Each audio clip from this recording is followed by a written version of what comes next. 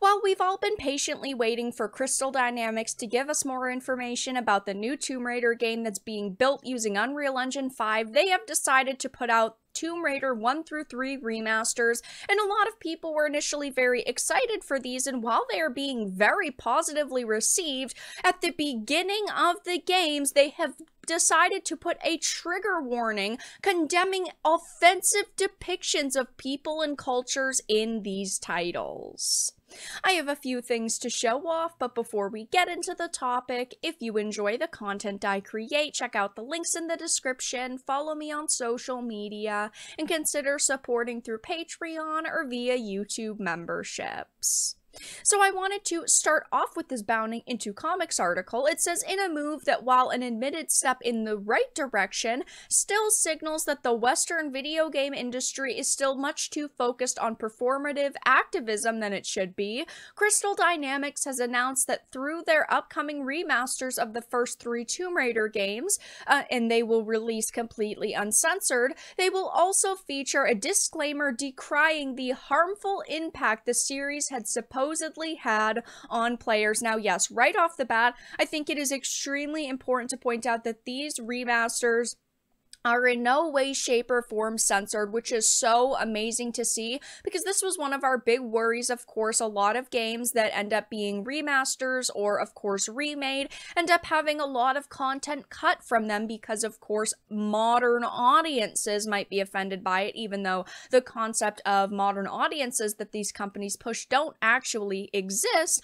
Um, it is great to see that this content is not censored, but of course, they are now acting Crystal Dynamics and Embracer are acting like the politically correct police again because, as discovered by a Tomb Raider news outlet a day ahead of the trilogy's collection release today when the video is going up, upon booting up the game, players are presented with a one time disclaimer informing them that the games in this collection contain offensive depictions of people and cultures rooted in racial and ethnic prejudices. These stereotypes are deeply harmful, inexcusable, and do not not align with our values at Crystal Dynamics. Rather than removing this content, we have chosen to present it here in its original form, unaltered, in hopes that we may acknowledge its harmful impact and learn from it. Now, in my time on this earth, I have never heard anybody say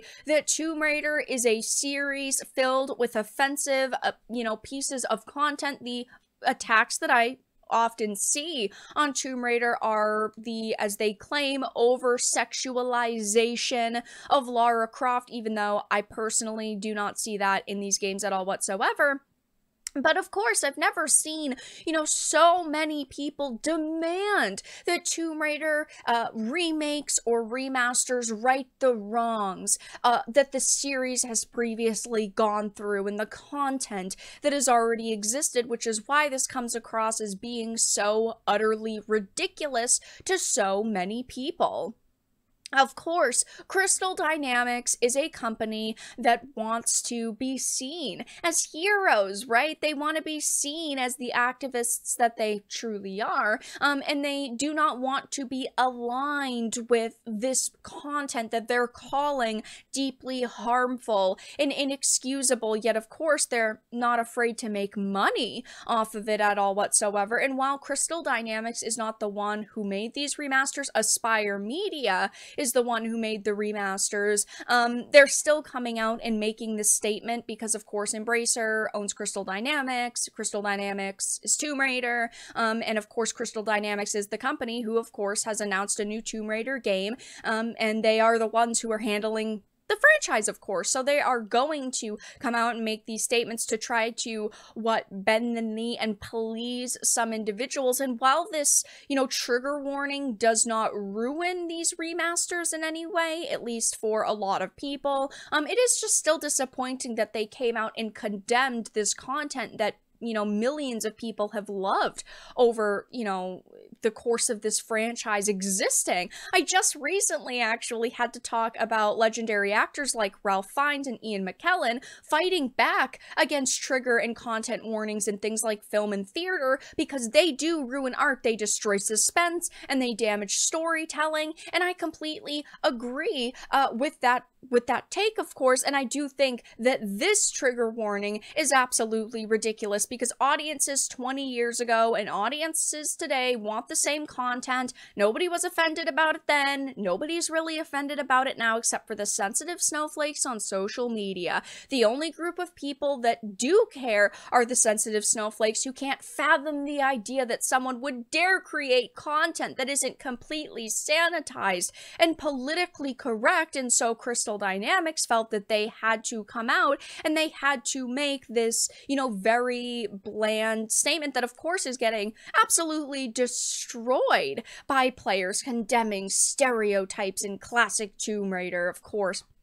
And if you don't know what they're talking about, uh, even though they did not provide specifics as to which cultural depictions they felt warranted such a warning, an educated guess suggests that it uh, was made in reference to various local enemies encountered by Lara throughout her first three adventures, and more specifically, the Polynesian tribesmen enemies depicted in Tomb Raider 3 Adventures of Lara Croft. And as noted, uh, there is no doubt that this is an absolutely embarrassing moment of political virtue signaling from Crystal Dynamics. Yes, that is all that the that this boils down to be. I mean, there are so many companies now that virtue signal, and this, you know, this company, Crystal Dynamics, is definitely no different. And of course, a lot of people are pretty disappointed over this. I did make a tweet and I wanted to read just a couple of responses. People are saying things like, I'm triggered by this trigger warning. Crystal Dynamics are now a completely woke and shaming a different culture of people of a different race, and that's wrong in every sense of the word. I'll stay with the early, late 2010 Tomb Raider titles. There's nothing more entertaining about remasters than current day devs publicly recoiling in fear and popping a Before you're allowed to touch one of the games. At least her model wasn't changed, and I completely agree. I'm glad that there is no content that was actually censored within these remasters, but the fact that they're ashamed of this content and they felt the need to put these trigger warnings in the first place is absolutely pathetic. It will be interesting to see if these games end up selling well. I think that they will because, again, no altered content. A lot of people were extremely excited for them. I am personally looking forward to them as well, but it's just very disappointing to see, you know, these uh, companies acting like the politically correct police again. But that's all that I really had to discuss in this video. Let everyone know your thoughts in the comment section down below. If you enjoyed this and of course found it important and informative, make sure to give it a like, share it, and subscribe to the channel. And of course, if you didn't, make sure to give it a dislike. I appreciate your support either way, but I will talk to you all again in the next video really soon.